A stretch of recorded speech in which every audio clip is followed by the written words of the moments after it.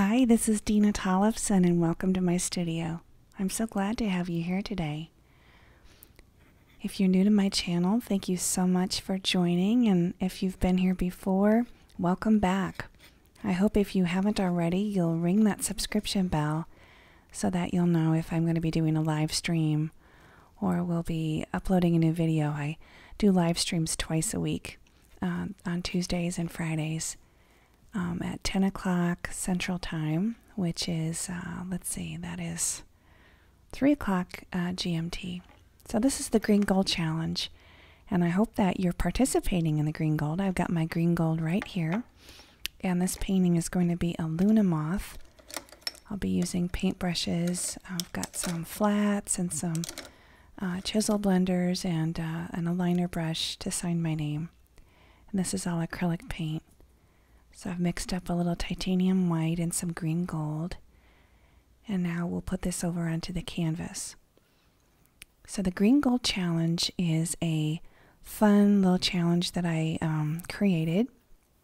And uh, all the people who are participating, and anybody can participate, you just put the words Green Gold Challenge into your title and upload your video onto your um, onto your channel and then all of the videos that I can find that have the hashtag Green Gold Challenge or have the words Green Gold Challenge in the title are going to go into a big playlist. And um, if you'd like more information about how to participate, I have a short two minute video on my channel that gives all the details of how to do this. And uh, for this video here, I'm going to, this is my entry for the challenge and I thought it would be really fun to paint the Luna moth. And I've got uh, just a pencil, just did a little graphite sketch of one Luna moth that's in full flight and another little guy off to the side here who's just kind of twisting and gliding.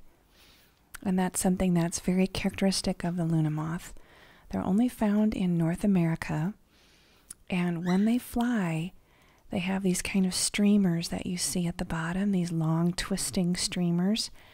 And when they are flying, they will twist their body and twist these streamers so that they can confuse their um, main, uh, the main predator, who is a bat. So bats love to eat luna moths. Apparently, they're very tasty to them. And so the luna moth has got some these little streamers that it uses to confuse the bat so it isn't quite sure which way it's flying. And then the Luna Moth also has these kind of neat, uh, there are two sets of almost like a fake eye or something, like a little eye shaped pattern. And the Luna Moth is also known as the American Moon Moth.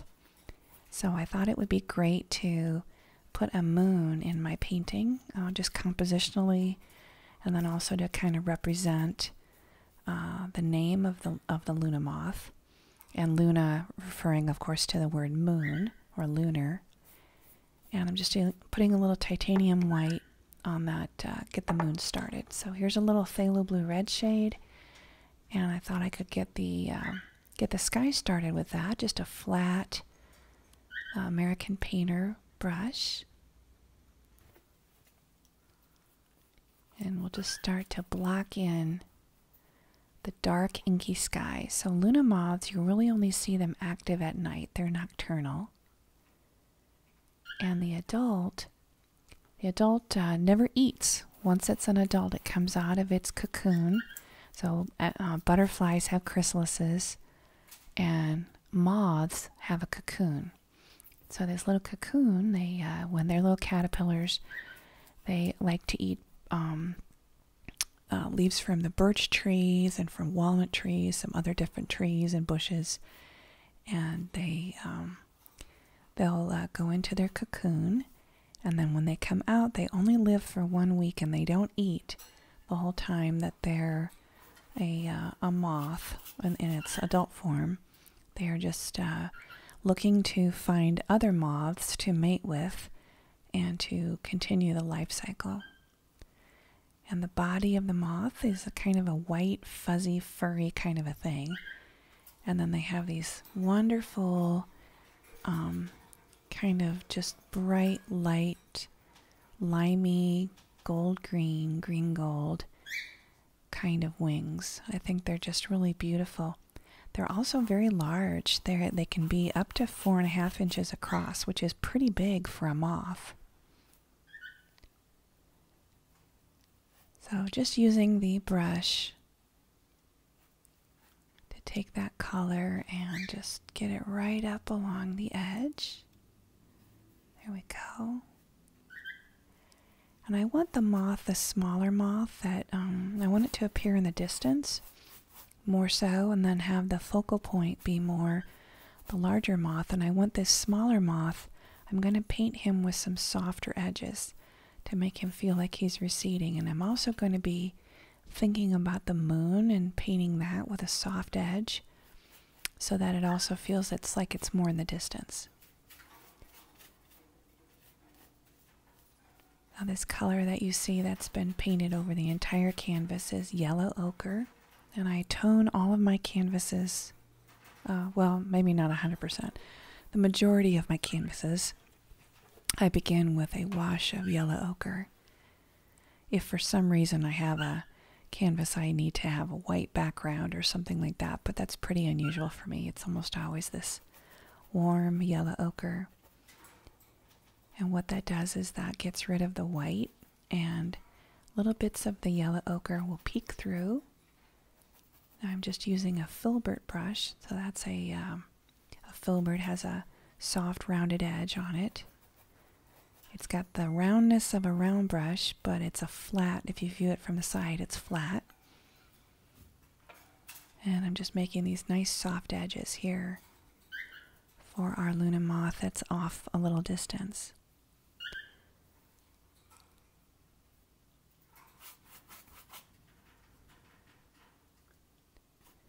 Just nice and easy, kind of. I'm letting little bits of the underpainting show through.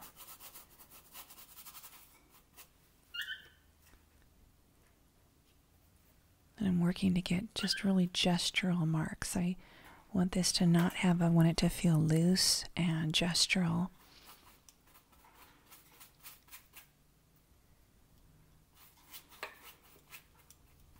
So just letting the paint do its thing come up right here on the top, the top of the Luna moth, or the top uh, wing. There's this uh, really kind of wonderful burgundy color that we'll be adding in a little while. Now, as I'm working around the moon, I'm letting bits of the white show through, and later we'll come back with some brighter colors to get the feeling that the moon is reflecting light from the sun and is giving a acting as a light source in the night sky.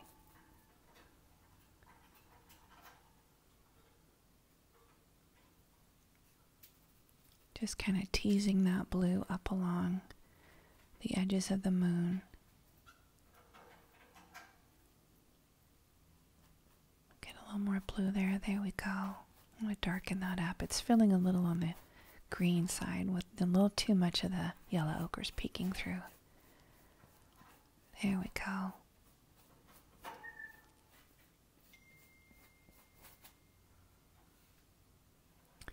Well, and I hope that you all got a chance to participate in Green Gold Challenge. And green gold is kind of a tricky color to use, and but yet it's such a fun and neat color. So I'm really looking forward to seeing all the different ways that all of fellow YouTuber artists are coming up with. I know there's going to be some performance art, there's going to be paintings and colored pencil drawings, and um, even someone's going to be doing makeup. So it should be a neat, neat thing to see all the different ways that the color can be used. So I'm just scrubbing in a little bit. I um, used a color that I made with yellow ochre and black and white to have in the moon a little bit of detail. Let's go in now with a little bit of this permanent alizarin crimson and start to indicate that this top ridge on the top of the body of the insect It's got this really nice contrast between the green and then this strong, bold color at the top. Now I've got a little liner brush, and a liner brush is really just a round brush with long bristles that is um, intended for detail work, or I typically use it when I sign my name. And these little eye patterns, both at the top of the body and the bottom set of wings. Um, I think, wonder if this is maybe God made camouflage to spare that poor little Luna moth so it can get away from from its predators. But the bats have to eat something, so maybe when the Luna moth is tired and he's had the end of his time, then maybe the Luna, maybe the bat can have him as a snack. But it's kind of sad to think about that poor Luna moth falling prey to the bat,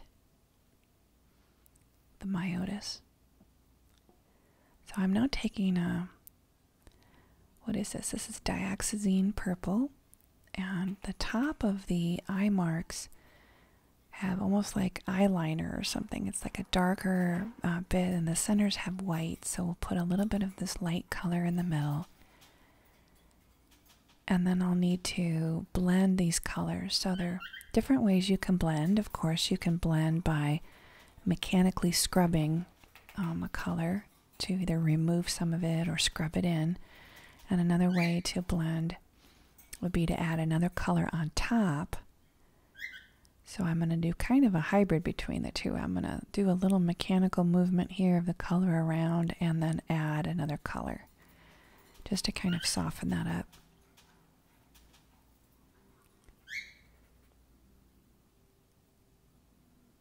So there are really different uh, different ways to make green gold. I've got green gold right out of the tube.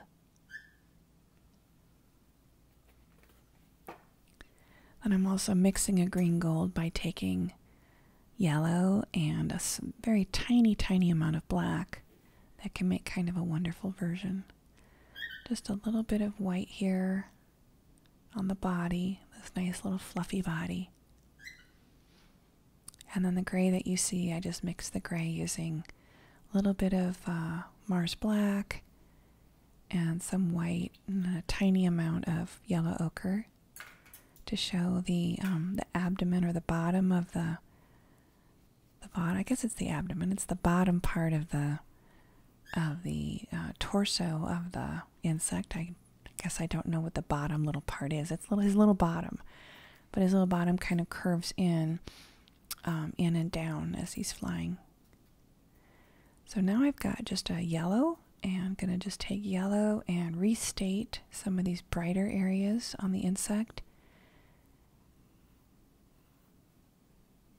over the initial um, thinly painted yellow ochre that, or not yellow ochre, that thinly painted uh, green gold. Just coming back with a little bit of yellow to brighten some of these areas.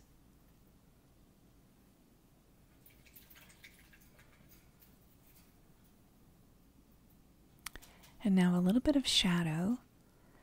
So there's the top set of wings and the bottom set, and there's a bit of a gap between the two, and I want to play that up by um, all I did was just use a darker version.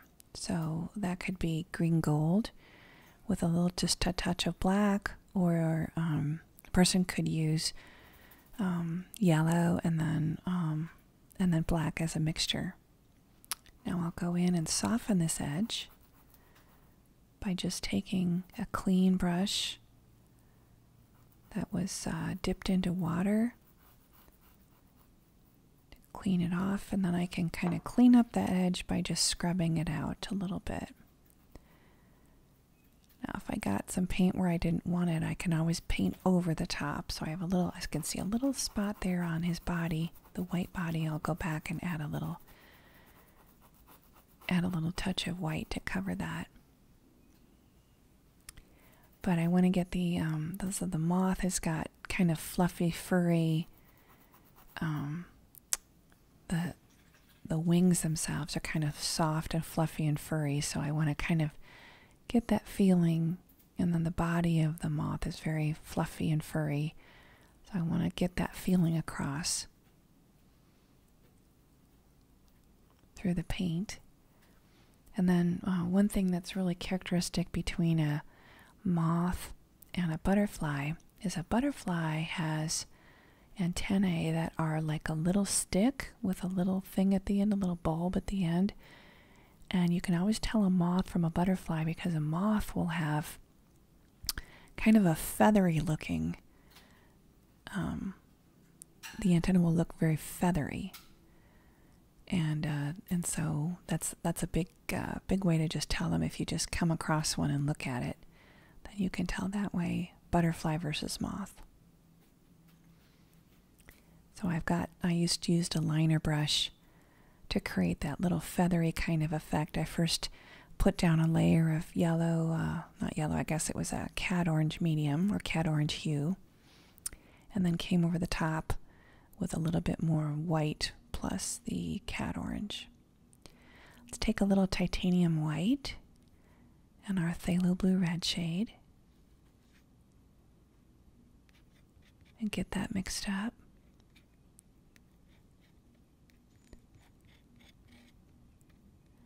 So the sky is very dark um, through most of the painting, and I like that contrast between the dark, inky sky and then the moon. But I'm wanting to create a transitional area between this inky darkness and show the effect of the moon and how the moon is interacting with the insects and the insects are drawn to the moon. So I want to put special attention on that. Here's a nice, clean, dry round brush. And I'm taking a tiny amount. I'm going to do a dry brushing technique here. Just taking a very tiny. So, this technique is called scumbling or dry brushing. And when I'm doing this, I'm just uh, putting a very small amount of paint on the dry brush so the brush is not wet at all first. And then I can put this paint, just kind of really um, brush it over the top, and I can either put it in and scrub it in or just lightly apply it. Here I'm going to actually scrub it in. And I'm being careful to not put too much paint on the brush. For those of you who have ever done stenciling, you know the effect of that you'll take a soft brush and put a very small amount on it, I'm putting quite a bit more than what a person would use for stenciling. But it's the same kind of idea where you you pounce it pounce the paint on. And then here working out I'm putting the phthalo blue red shade that we mixed up just now and uh, putting that on. So first we have a teal and then working outward from the moon. Now the phthalo blue red shade plus white. So I want to get this feeling of the teal is a warmer and lighter color. And then working out and giving the feeling like the moon is brightening and lightening the sky.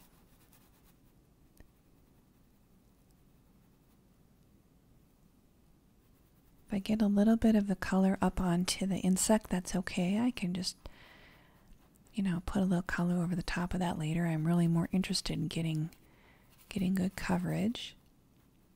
And I want some of the dark color to peek through too. So there's kind of an effect you can get with scumbling, this dry brushing that's different than if the if the brush were originally wet. A wet brush that I dipped into the paint is going to give a whole different mark than a totally dry brush with a spare amount of paint. All right, so now another clean brush, tiny tiny amount of the of the teal I can go back in and layer this now that it's dry. Go back and layer that over and another layer.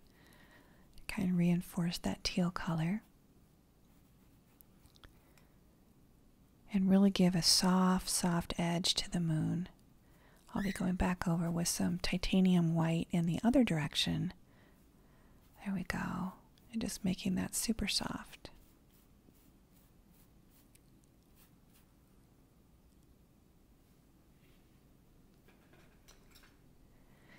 So in my painting, um, I'm imagining that these two Luna moths are going to have their love reunion or their love union up in the sky and they'll be able to create more Luna moths, and that both of them will evade the bat. Or if they're going to be a meal for the bat, maybe it's right on their last day, since they get about a week to live. Maybe on the last day, then the moth will have a meal, but hopefully not too soon. So I'm just going back over and restating some of these areas with the permanent alizarin crimson.